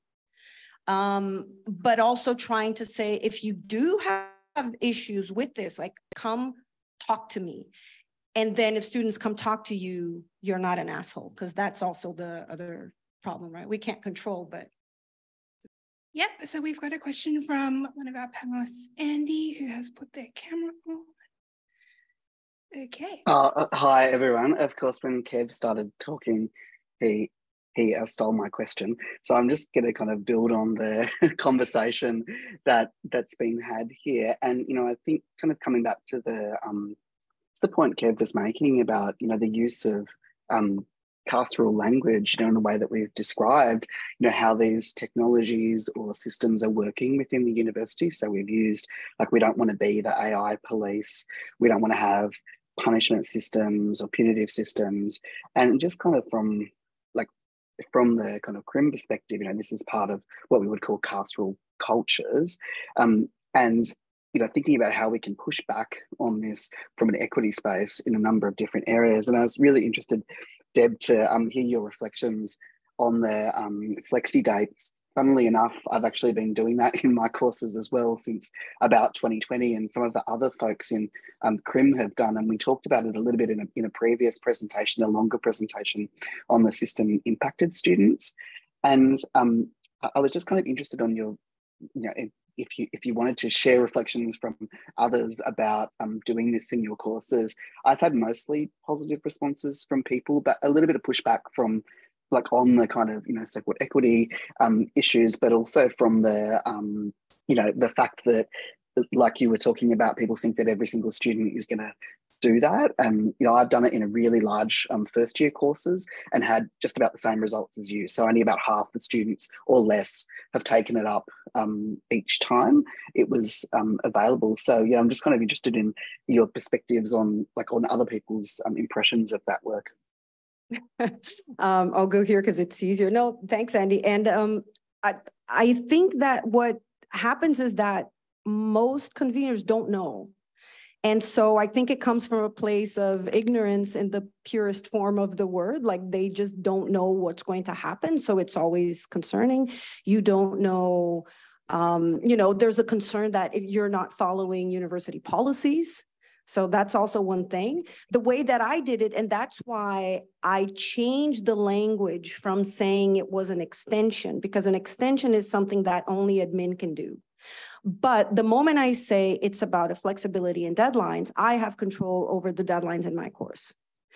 So that's also a way that I found to kind of circumvent that that issue right and just say no it's about i'm already saying from the get-go and it's equitable in the sense that it's available for everyone so that's why for me it was important to not be asking questions because i didn't want to have the sense that only if you gave me a reason that i found valid is that you would have it. So in order to not have issue with disclosure and to say, I don't care, you wanted to stay home and watch TV late, that's, you know, your prerogative. But I wanted that, that's kind of how the equity worked in my way. Can I just jump in? Like, I think these forums and the sharing of these stories, you know, like, I think the biggest, you know, the biggest barriers in terms of wider uptake of this is the precarious nature of the way so many people are employed in this sector.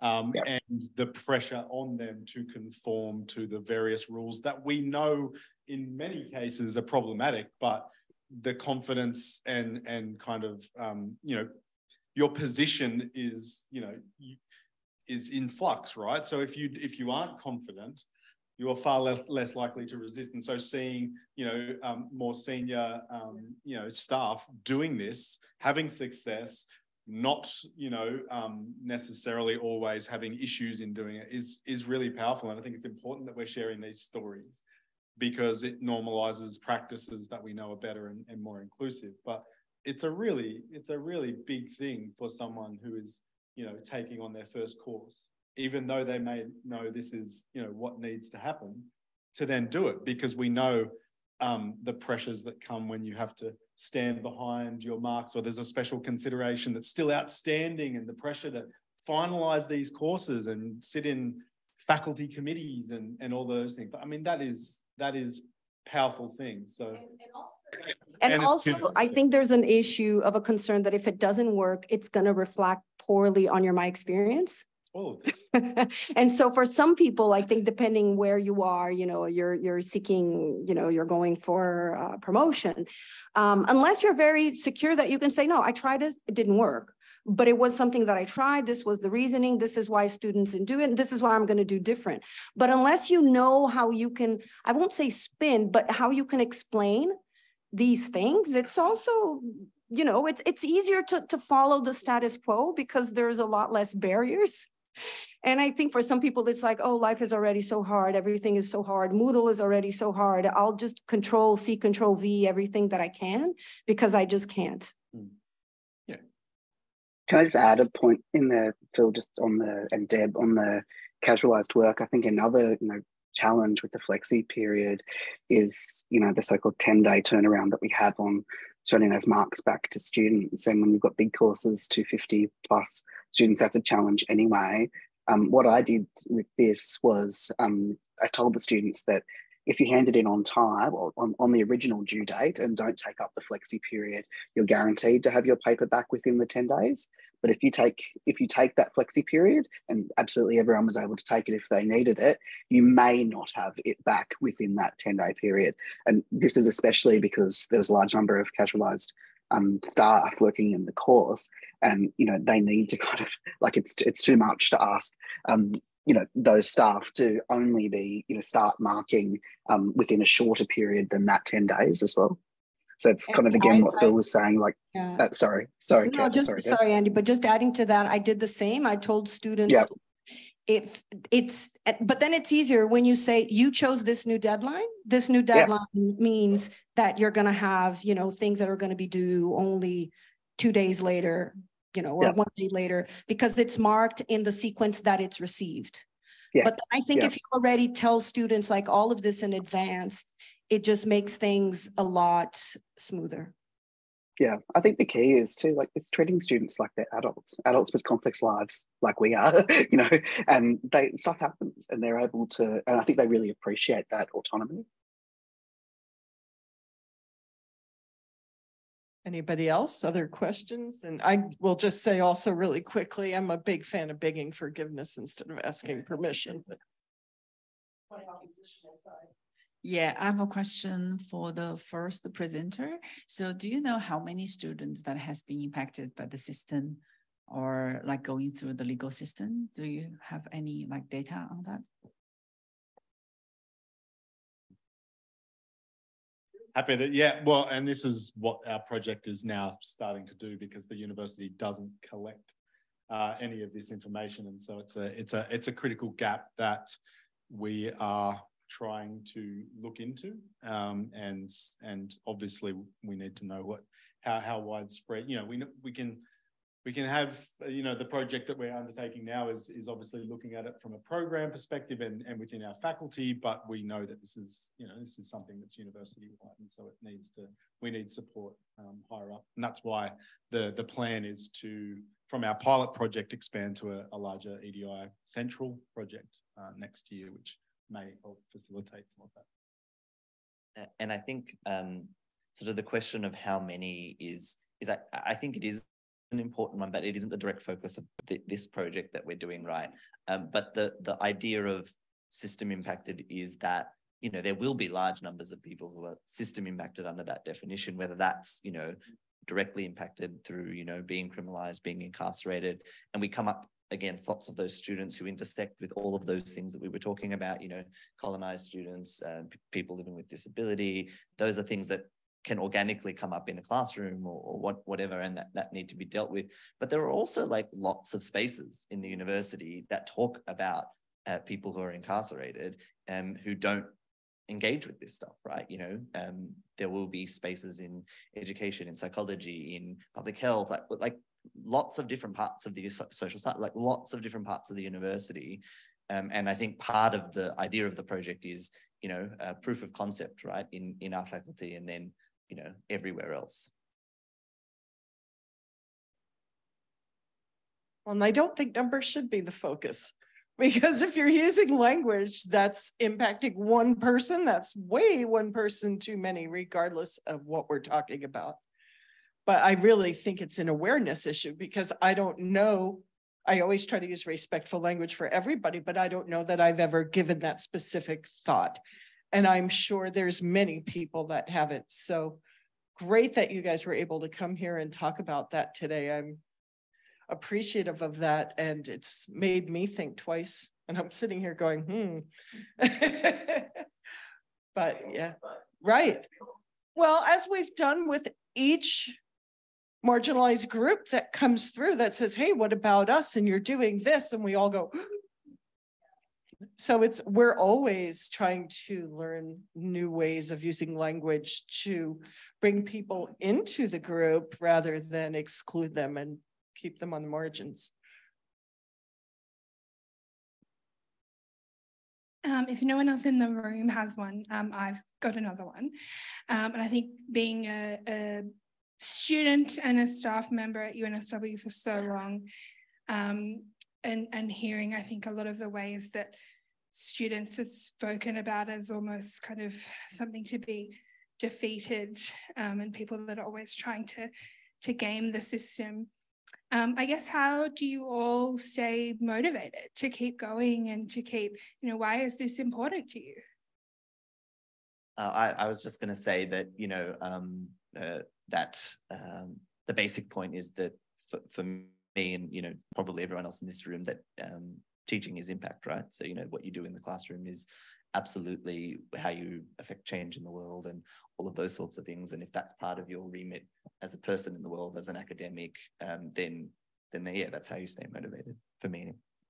Yeah, I think the the will and the motivation are always there. But one thing I wanted to to talk about is the need to for it not to be based on our individual motivation. Like the projects that we are doing and have been doing for an extended period of time. This all takes an incredible investment of time uh, to repeat and to come up against the frustrations. And it is inherently demotivated. Like it can really get to you. And we've all been in, you know, the value of our, our colleagues and peers to debrief constantly, um, you know, to have that support and allyship is, is critical to it. that's one way of keeping your motivation in face of the, the barriers that you're constantly coming up against. But also the need to set this up so that it is not dependent on that continue. You know, we're always going to be invested, but we need to move beyond. We need the institution to build communities of support that then put in place policy that is better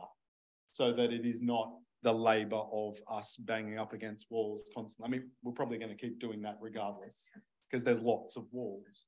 But, you know, like I think one thing that that inspires is seeing that that change through the um, through it through your activism and advocacy of of it getting better. And we see it, you know, in in talks like this that it is becoming a you know we're having conversations in mainstream environments at the university where previously we had to hide these things. Oh, we're breaking rules. Oh, we're going to get in trouble. You know, we are having these open conversations now, and you know, maybe the recording of this will go to places, then we will get in trouble, but that's okay, right? It's okay. Like we're we're we are fortunate that we are in stable employment. We can fight these fights and we have to keep fighting these fights. And, and that is a labor that is required, but we need this to go beyond us. Where you've learned nothing, um, you know, you are hurting yourself, first of all. And second of all, I don't think anybody does that all the time. Like I said, I think they always have reasons. It's, it's, we just keep going and we keep trying to find out what they are and how we can support them not to have to do that. I don't know. I I read something that I loved once. Someone saying teachers aren't paid to teach, they're paid to mark. That's the part that nobody really loves. But most people like I mean, if you're not excited about teaching, like why are you here? You know, it's it's for me, I mean, personally, it's like if you don't like people, you shouldn't be teaching you know if you if, like there's there's yeah Um, and I think it's also to be able to give support to students who really want to do well, um, you know, and, and sometimes even the life experience of being able to say, look, you might not, you know, remember my course five years from now, but hopefully you will remember that you had a good time being, you know, it's fine to be curious. It's fine not to know things. It's fine to have fun when you're trying, I don't know, just, just something that you can take out of that, you know, that experience that you impact the person again with the process that just goes beyond, you know, I, I learned the definition of whatever, but it's, you know, it's something else that students can take out. For me, one of the best is, well, two, a recent one, the student said, I really liked your classes because of your enthusiasm. You even made theory fun. I'm like, okay, I was able to do that. And another one that was simple, it was an, another student, a, a, more mature student who said, I understand the news better. And, and of course, she, she took mine as an elective and she said, I understand the news better. I understand the world better. And to me, that's like, I'm, you know, it's um, good. I have to wrap up. Sorry, we're out of time. I first of all want to thank all of you that presented today, all of you that took time out of your extremely busy days to attend, the DIIU for, and Izzy especially, for doing all the organization and also the Diversity Fest people, the staff. You guys have been amazing helping this to happen every year. And it's just been great to have this kind of a forum where we can talk about these things. So in closing, just thank you, everybody.